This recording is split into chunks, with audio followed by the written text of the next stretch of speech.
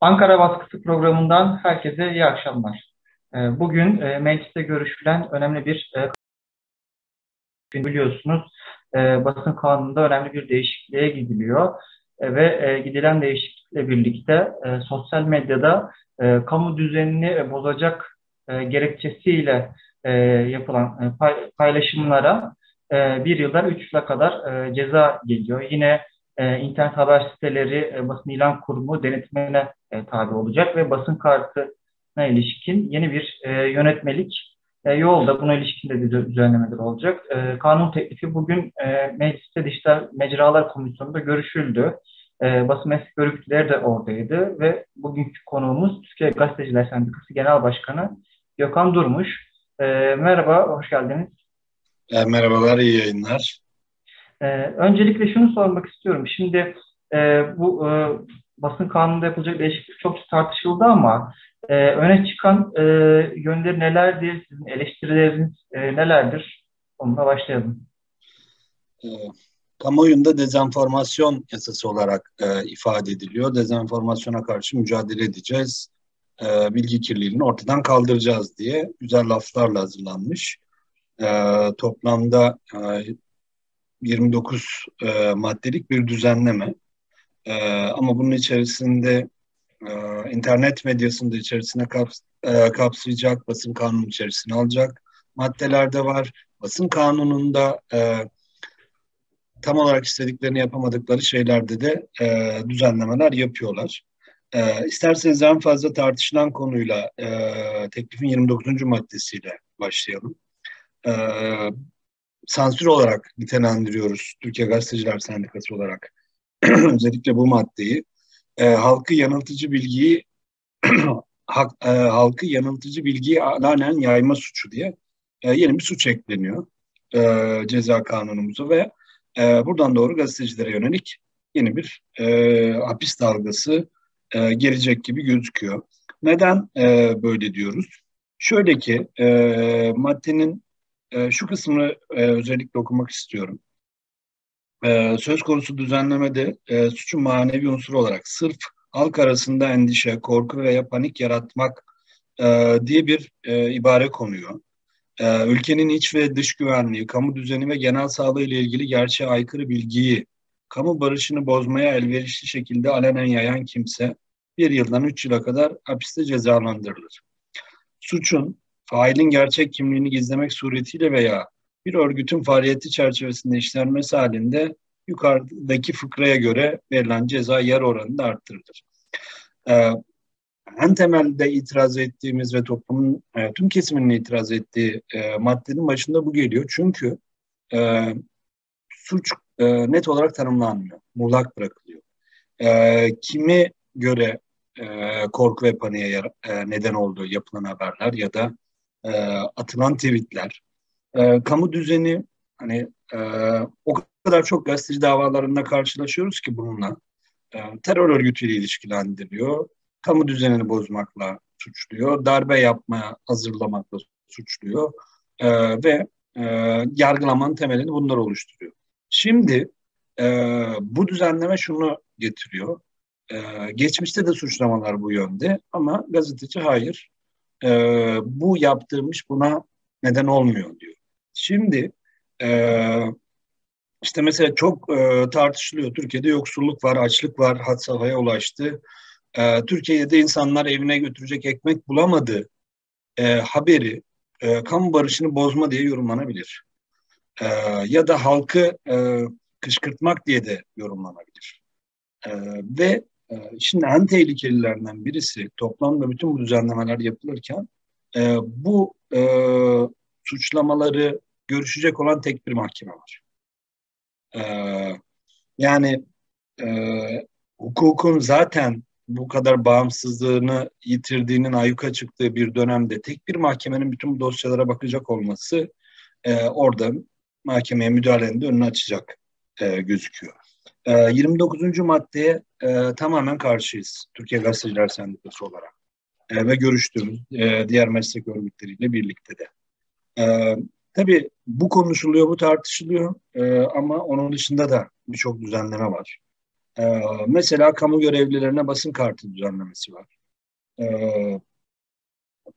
kart verilecek e, kamu görevlisi sayısı arttırılıyor. Burada özellikle e, vakıflara ve derneklere bir basın kartı vermenin yolu açılıyor. E, yine kanunun içerisinde e, güzel diye sundukları artık internet medyasında çalışanlar da gazeteci sayılacaklar, basın kartı alacaklar, resmi ilan da alacaklar. E, süslemesinin arkasında basın ilan kurumuna verilen e, aşırı bir yetki var. E, şöyle ki şu anki e, durumda e, iletişim başkanlığının nasıl kart konusunda keyfiliğinin önüne geçilemiyor ve e, yönetmelikleriyle kanundaki boşluklar nedeniyle keyfi bir şekilde davranıyorsa e, basın ilan kurumuna da e, tam olarak böyle yetkiler veriliyor.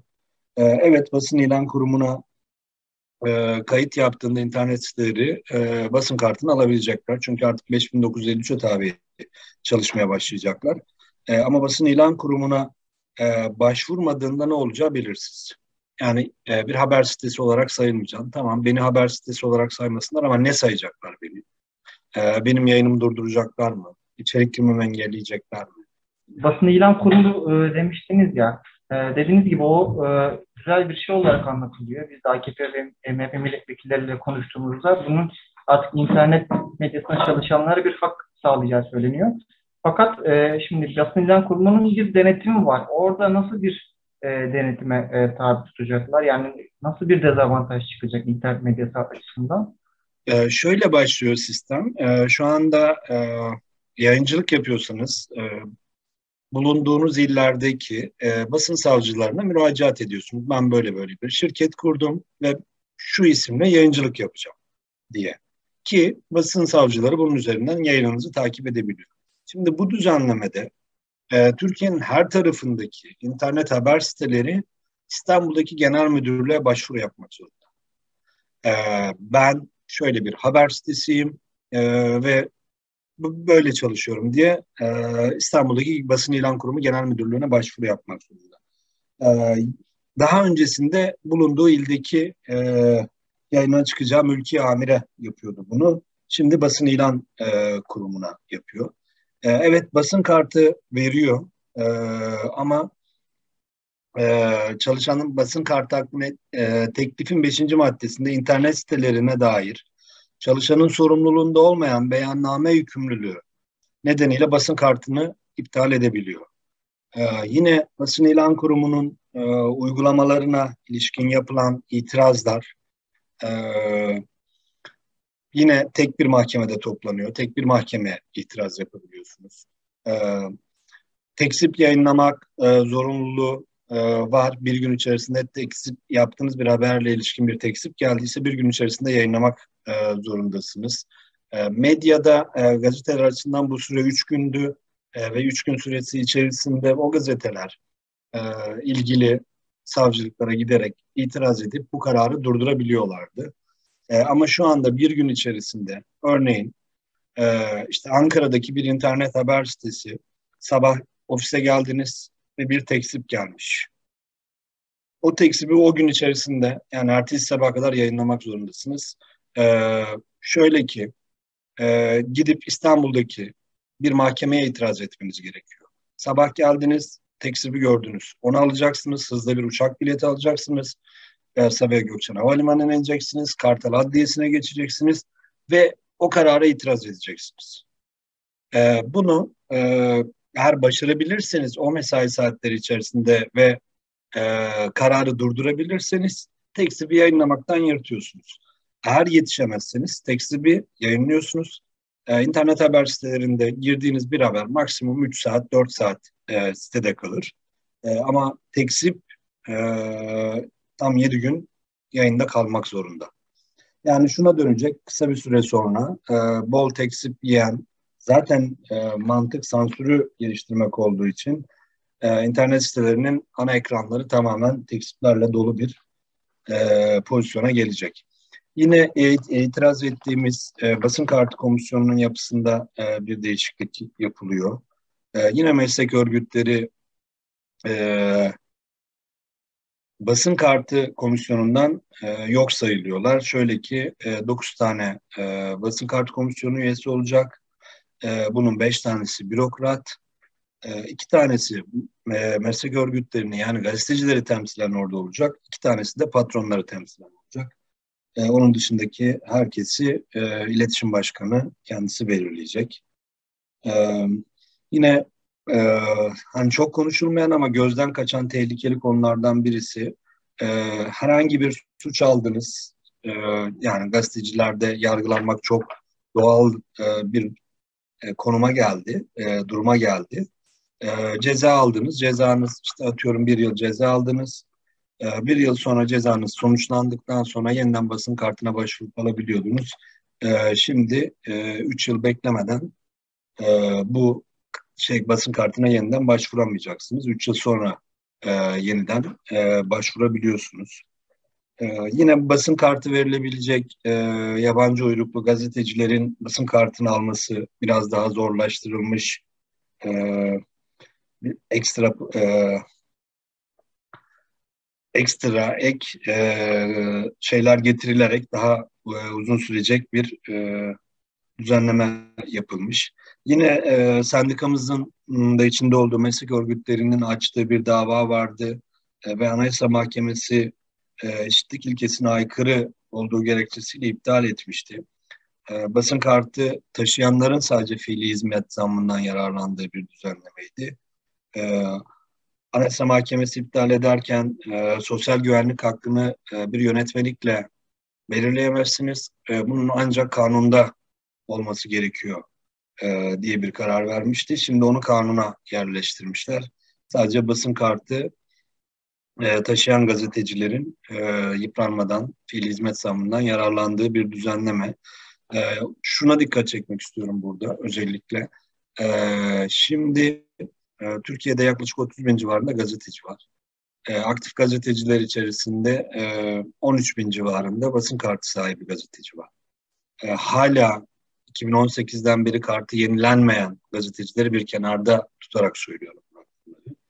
Ee, internet medyasını e, içimize aldığımızda yani bu kanunla birlikte e, 5953'e tabi çalışmaya başladıklarında e, yaklaşık e, 20-30 bin civarında gazeteci daha e, kayıt altına alınacak. Ama onlar da e, hen, hemen bu karta ulaşamayacakları için e, fiili hizmet e, zammından yani yıpranma payından yararlanamayacaklar e, gibi e, birçok itirazımız var. E, e, bu düzenlemelere.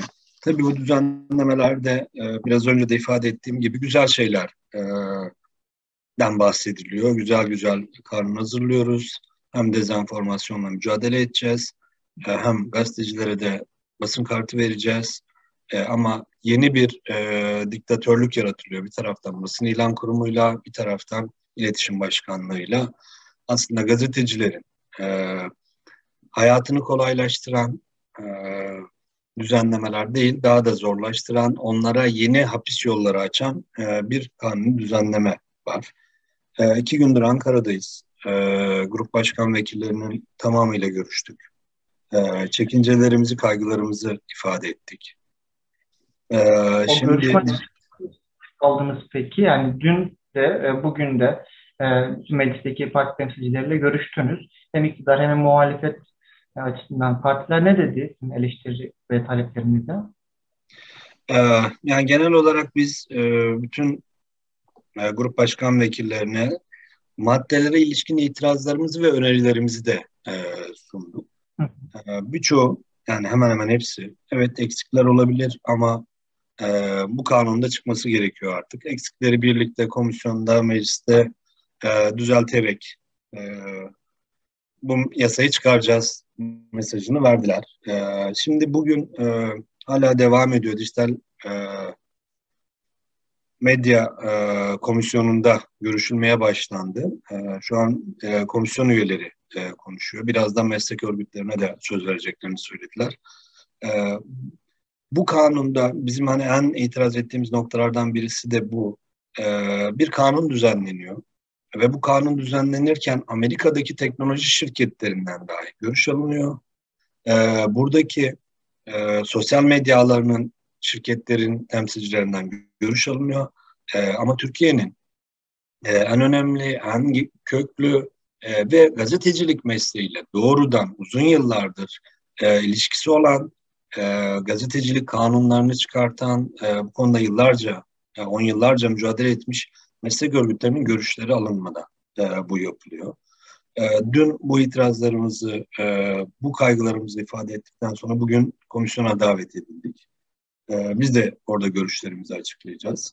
E, komisyondaki genel e, durumda e, özellikle MHP kanadının e, çok keskin bir bi biçimde bu kanunu, bu hazırladıkları tasarıyı savunduklarını e, görüyoruz. Ama e, AK Partili bile de bile e, henüz bu kadar keskin bir e, duruş yok. E, çünkü çok muğlak, e, çok boşluklar var. E, düzeltmeyen, e, hatta yeni karmaşalara neden olacak bir e, düzenleme. E, umarım e, Dijital Medya Komisyonu'ndan ol, ol, me, Dijital Mecralar Komisyonu'nda olmasa bile daha sonraki komisyonlarda e, bu yasa geri çekilir. E, bu kadar acele etmeye gerek yok. Kanun zaten yasanın büyük bir e, çoğunluğunu 2023'te uygulamaya koyacaklar.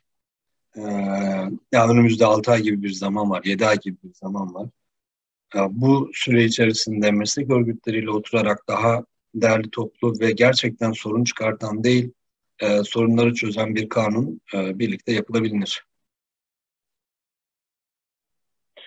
Çok teşekkürler programımıza katıldığınız için. Bunun dışında eklemek istediğiniz bir husus var mı, nokta var mı? E, ben teşekkür ediyorum. E, tabii biz sadece gazeteciler yönüyle değerlendirdik ama hani şunları da e, görmek lazım. Eğer bu kanun bu haliyle çıkarsa sosyal medya kullanımlarında da e, engellemeler önümüze gelecek. E, aslında Türkiye'de bir haberleşme e, ve haberi alma kanalına dönüşen mecralara da e, bol bol yasaklar gelecek. E, öyle gözüküyor. O yüzden bu sadece gazetecilerin sorunu değil aslında e, haber alma hakkı kullanmak isteyen toplumun da sorunu. Onların da aynı oranda tepki göstermesi gerekiyor. Yeniden çok teşekkür ederiz. Ee, evet bu hafta programımızın konuğu e, Gökhan Durmuş'tu. Türkiye Gazeteciler Sendikası Genel Başkanı. Basın kanununda yapılacak değişiklikleri konuştuk.